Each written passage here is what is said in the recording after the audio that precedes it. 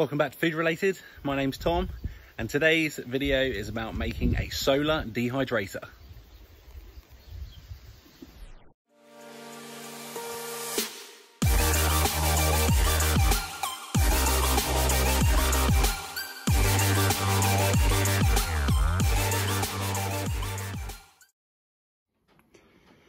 So here's a quick overview of this little homemade solar dehydrator. I've got this bit of clear acrylic that I had with loads of scratches on it, which I thought we'd reuse.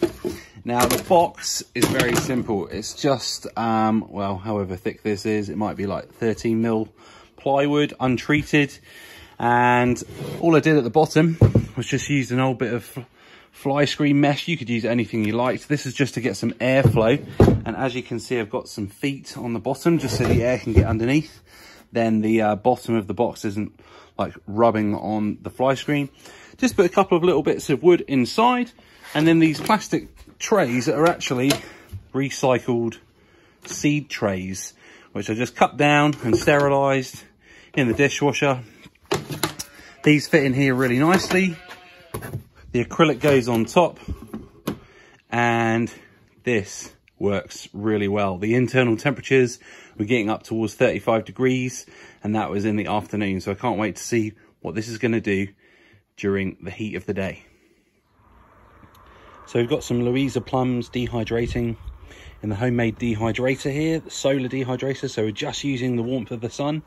As you can see, it's kind of a bit overcast and cloudy today, um, but the internal temperature of this box is still over 30 degrees. When the sun was out earlier, it was well into the high 30s.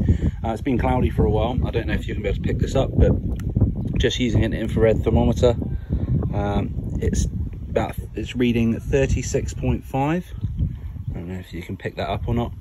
Um, so it's really effective, and these plums are drying out nicely. So I'm really happy with the results of this solar dehydrator. With just the power of the sun, we're dehydrating this fruit. And I'll tell you what, it is fantastic. So give this a go or something like it. Just use recycled materials. It's the way forward.